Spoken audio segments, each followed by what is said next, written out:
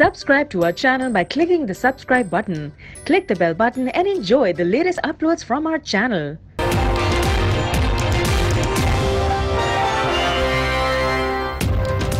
کراچی کے علاقے سچل میں پولیس اور دہشتگردوں میں مقابلہ فائرنگ اور دھماکوں کی آوازیں پولیس سے مقابلے میں تین دہشتگرد مارے گئے کراچی کینٹ سے سوشل میڈیا پر دائش کا مواد پھیلانے والا ملزم بھی پکڑا گیا ایف آئی اے انسداد دہشت گردی ونگ نے ملزم سے داعش کے جھنڈے ممنوعہ مواد اور اسلحہ برامد کر لیا۔ ملزم کی نشاندہی پر ساتھیوں کی گرفتاری کے لیے چھاپے کراچی میں چھری سے حملے کے واقعات۔ گلستان جوہر اور شار فیصل میں خوف کا راج۔ دو روز میں موٹر سائیکل سواروں کے حملے سے چار خواتین زخمی۔ نجی ہسپتال منتقل۔ سیدھا کیس تحت۔ طوالت پکڑتے پکڑتے یہاں تک آ گیا۔ اتنے ماہ سے یہ کیس زیر التوا رہا، دستاویزات پہلے دینا چاہیے تھی۔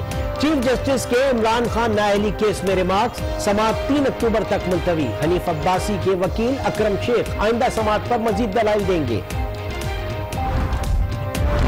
عمران خان کا کیس نواز شریف کے کیس سے مختلف ہے۔ کہیں پر منی لانڈرنگ کا الزام نہیں۔ پی ٹی آئی رہنما فواد چوہدری کی میڈیا سے گفتگو۔ کہا عمران خان کی جیب سے منی لانڈرنگ نکلے گی؟ کبھی کہتے ہیں توحفہ ملا، کبھی قرض کا کہتے ہیں۔ عمران خان ہر موقع پر نیا موقف اپناتے ہیں۔ مسلم لیگ نون کے رہنما تلال چودری کی میڈیا سے گفتگو۔ حریف عباسی نے کہا، عمران خان کو شریف فوبیا ہو گیا۔ ہم نے ملک کو ایٹمی طاقت بنایا سی پیک دیا۔ سابق وزیر اعظم نواز شریف سے ملک ریاض کی ملاقات۔ کلثوم نواز کی خیریت دریافت کی وزیر اعلیٰ پنجاب شہباز شریف بھی موجود۔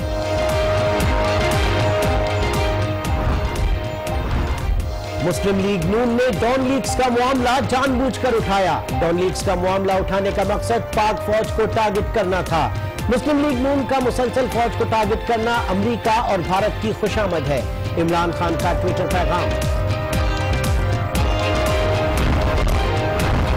شاہ محمود قریشی اپوزیشن لیڈر بننے کی دوڑ سے باہر۔ تحریک انصاف کے اپوزیشن لیڈر عمران خان ہوں گے۔ نئی ملحق نے بتا دیا، قائد اختلاف کے لیے عمران خان بہترین امیدوار ہیں۔ وزیر خزانہ اسحاق ڈار کے استعفے کے لیے پنجاب اسمبلی میں قرارداد جمع۔ وزیر خزانہ پر منی لانڈرنگ اور کرپشن پر فرد جرم عائد ہو چکی، وہ صادق اور امین نہیں رہے۔ بے گناہی ثابت ہونے تک استعفی دیں۔ میاں محمود الرشید کا قرارداد میں مطالبہ۔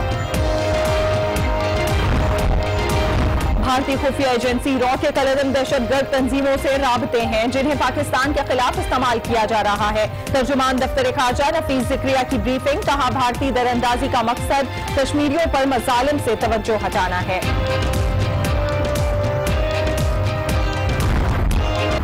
Talibans have almost 40 to 45 percent territory of uh, Afghanistan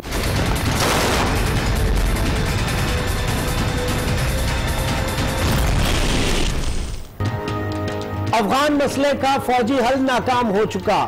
امریکہ خطے میں دیر پا ام چاہتا ہے تو صرف سیاسی حل پر غور کرے۔ وزیر دفاع خواجہ آصف کا ٹرمپ انتظامیہ کو مشورہ۔ کہا، دہشت گردوں کے محفوظ ٹھکانے پاکستان نہیں بلکہ افغانستان میں ہیں۔ کابل ان دہشت گرد گروپوں کو کنٹرول کرنے میں ناکام رہا۔ بی بی سی کو خصوصی انٹرویو۔ لاہور میں پاک ترک سکولز کے سابق ڈائریکٹر گزشتہ روز سے اہل خانہ سمیت لاپتہ تاحال مقدمہ درج نہ ہو سکا، پولیس نے موقف دینے سے گریزا۔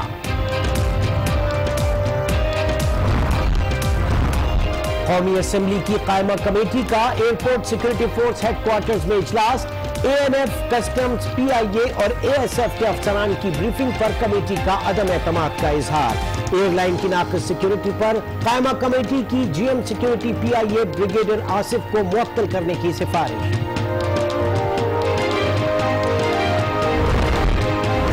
سٹی کورٹ میں لاؤڈ سپیکر ایکٹ کے خلاف ورزی کیس کی سماعت میں سربراہ M K M Pakistan Farooq Sattar Haider Abbas Rizvi, Faisal Sabzwari, کون نوید جمیل اور دیگر کے ناقابل ضمانت وارنٹ گرفتاری جاری، عدالت کا مفروم ملزمان کی عدم گرفتاری پر سخت اظہار برہمی۔ ہری پور سینٹرل جیل میں مشال قتل کیس کی سماعت چار اکتوبر تک ملتوی، سات گواہان کے ریکارڈ قلم بند۔